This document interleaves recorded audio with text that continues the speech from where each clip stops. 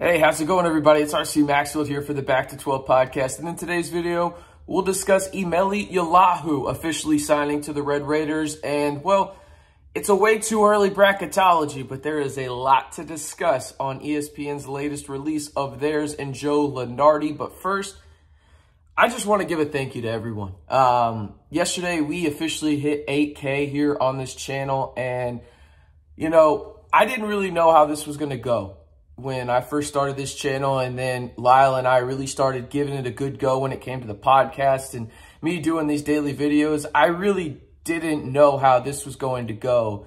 And to see the outpouring love and support that y'all show me, the interaction y'all bring to this channel daily, um, it truly means a lot. So I wanted to start this video after we got to 8K by saying thank you, a sincere thank you. Um, it truly means a lot that y'all would take your time out of your day to listen to my nonsense um, and my antics and everything like that and just trying to keep y'all in the know on Texas Tech men's basketball. It truly means a lot. So in the sincerest thank you I can possibly give, just thank you. And if you want to join this back to 12 squad that we've created, one of the most interacted and most engaged Texas Tech audience on the internet, not just on YouTube, hit that subscribe button and stay in the know on Texas Tech all year long right here on the Back to 12 podcast channel. All right, enough of me being sentimental and all that stuff. Y'all are here for the news, damn it. I know what y'all are here for, but let's get to it. All right, Texas Tech officially has signed Eemeli Yalaho,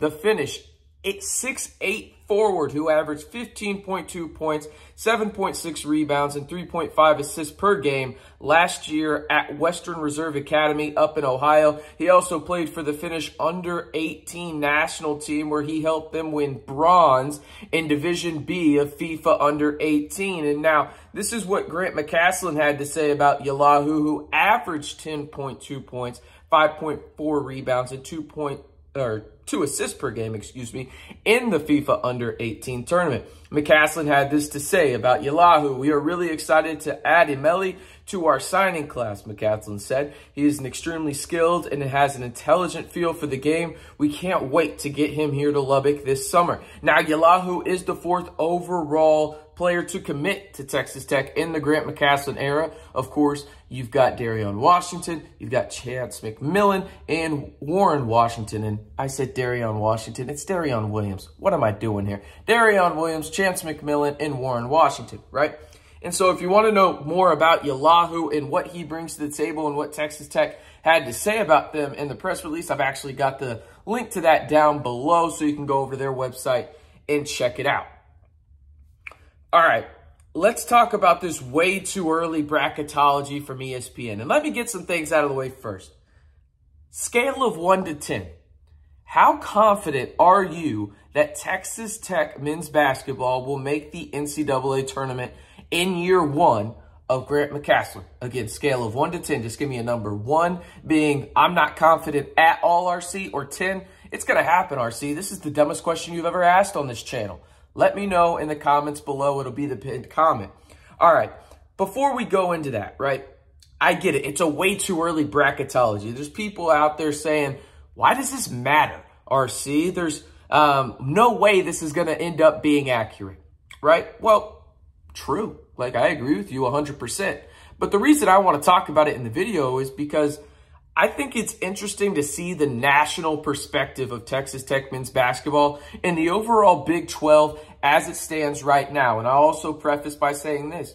Teams will look a little different. At the time of this recording, Kevin McCullar just announced he is returning to Kansas. Okay, so this is ever changing, right? In terms of what these teams will look like. Texas Tech has two scholarships remaining. Hopefully they can go out and add two impact players to their roster, right? But as it stands right now, this is how the national perspective of the Red Raiders in the Big 12 stands. Let's start with the conference overall. They have seven Big 12 teams making the tournament in this projection.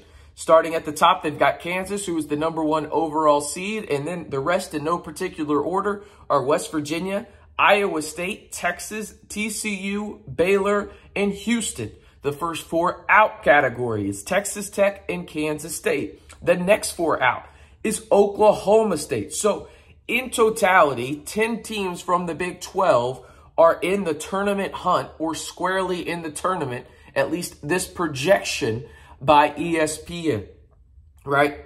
The thing that I found the most interesting was this, okay? The Big Ten and SEC actually had more teams in the tournament. They had eight each, respectively.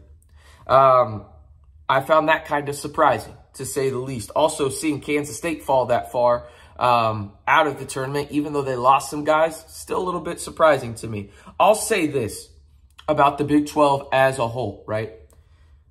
It is yet again going to be a really, really good conference, right? The Big East could surpass it this year. The Big East is absolutely loaded this year, okay? Especially at the top, right? It could pass it. But I'll tell you right now, it is going to be a blow for blow type of fight when it comes down to who is the best conference in America this year.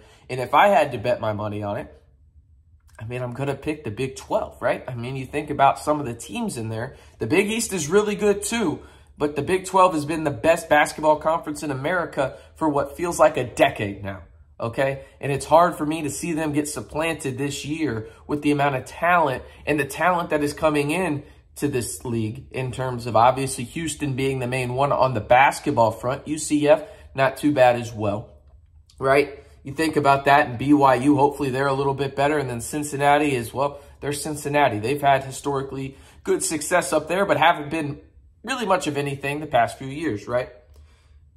I just think that's where this this is at, right? This is going to end up being the Big East and the Big 12 in terms of who is the best conference in America. But what it means for Texas Tech, who again was on the first four out of this way too early bracketology projection by Joe Lunardi, who I had to put in the thumbnail at this. Hopefully that's a good photo of him. I it, Joe, I'm sorry if it's not. Anyway, doesn't really matter. All right, this is what I think about the Texas Tech side of it um, in terms of them being on the outside of the tournament. It's a new coach. It makes sense, right? Overhauled roster. It makes sense right? Lost a couple of really solid slash good players. Mainly, I'm thinking of Jaylon Tyson, right? Added guys in the portal that are going to have to make a significant leap in competition. And now we've seen that in the portal in the past where these guys come from lower level competition to Texas Tech and they don't make that jump. And now I'm saying this. I like Chance McMillan. I like Darrion Williams, right? Like I like those guys.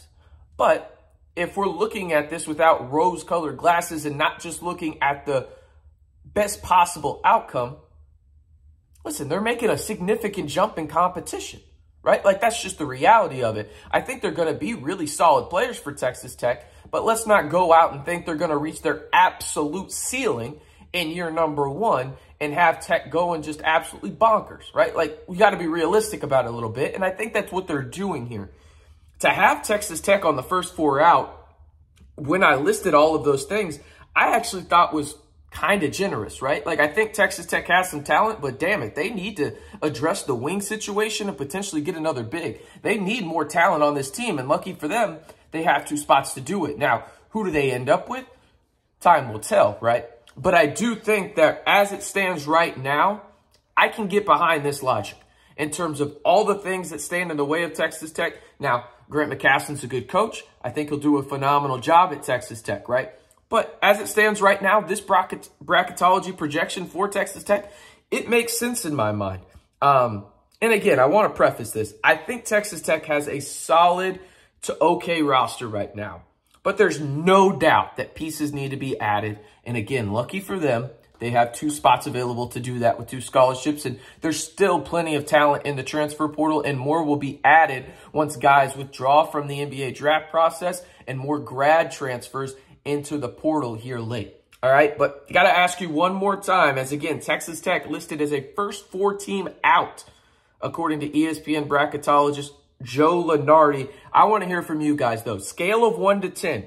How confident are you that Texas Tech will make the NCAA tournament in Grant McCasland's first year. Scale of 1 to 10. 1 being no confidence at all. 10 being this is the dumbest question you've ever asked on this channel, RC. Once again, I am RC Maxfield, thanking y'all for getting us to 8K. Y'all really, truly don't know how much y'all mean to me in terms of y'all interacting, engaging with this channel. It's hope and a prayer, and y'all made it a reality. Thank y'all again. And if you want to stay in the know on Texas Tech men's basketball and football all year long, you know what to do. Hit that subscribe button and join the fastest growing Texas Tech community right here on YouTube. Of course, I'm talking about the Back to 12 podcast channel.